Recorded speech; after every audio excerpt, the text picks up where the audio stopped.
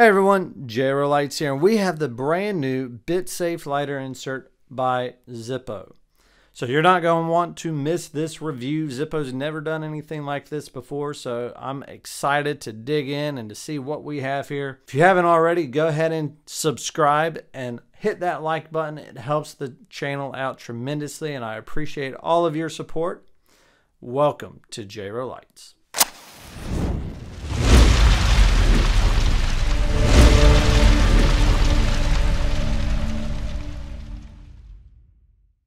Before we begin, I want to give a huge shout out to Chuck Riley at Rileys66 for sending us this insert for review. He's been a huge supporter of the channel. So go on to rileys66.com. He still has these available. Also, along with all of his custom designs and also recent Zippo releases. So go check him out, rileys66.com. Tell him J Rose sent you and thank you, Chuck, for sending this for review. So here we have a thanks JRO message on top. Chuck always does a wonderful job at packaging. He always sends them in these boxes and always has them wrapped up pretty good. So we open up. I also love he has some sweet bubble wrap, uh, pouch bubble wrap. Once again, check them out, Rileys66.com. And here it is, the new insert. Here's our insert, and I gotta say, it feels great. It has a really good texture to it. Now, it is not made out of steel like most Zippo inserts are. It's not, not steel, so it's not magnetic, but it does feel great. It has a really good grip on it when you use it. I love the design up top. You have the flame on the front and on the back. Here on the bottom, you have your bottom bits. They just come right out and slip right back in. If you notice, it does say China on the bottom. So I'm betting this plastic piece was made in China and the rest of the body is made in Bradford, Pennsylvania. But I, I really do like how Zippo's really amped up their insert game in the last few years. You know, around 2018, they started with their butane inserts.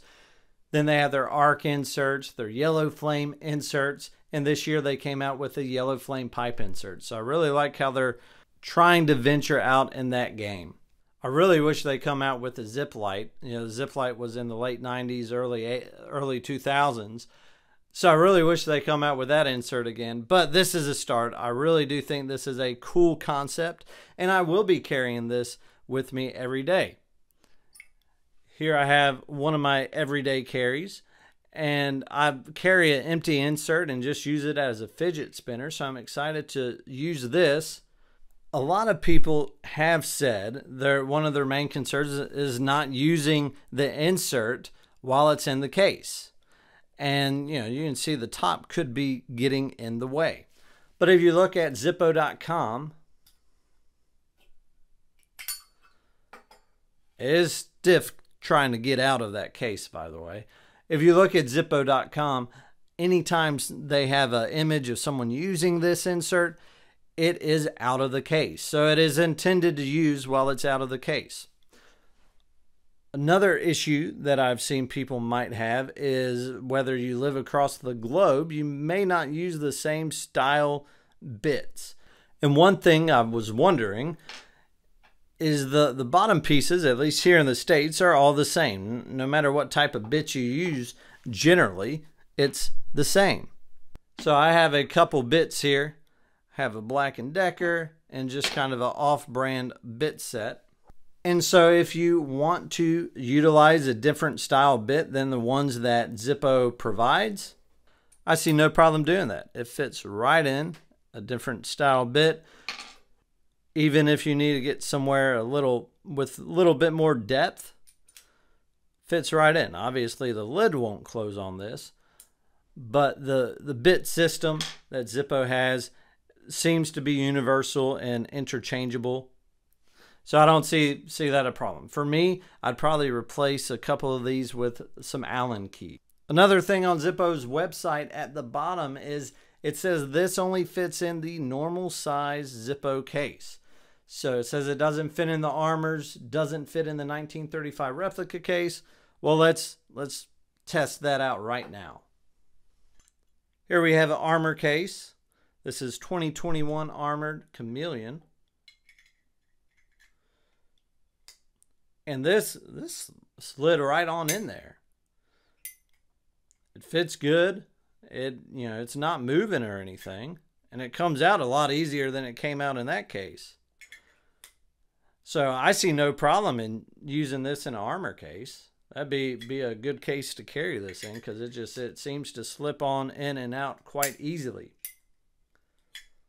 Here we have our 1935 replica and it is a little shorter top. So yeah, it doesn't close all the way unless you probably take this out. And it closes just fine. So I'd say the armor case is probably one of the better cases to carry this in. But being JRO Lights, I got to rep my own own Zippo.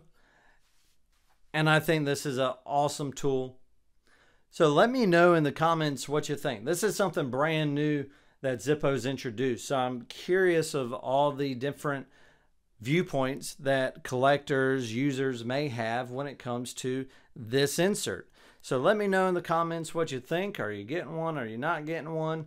I'd be interested in the conversation this insert stirs up. If you haven't already, go on to Rileys66.com and check out one of these bit inserts as well as some of his other designs. Greatly appreciate the support and make sure once again subscribe and like this video. It really helps out the channel. Thank you for all the support. This is JRO Lights. We'll see you on the next one.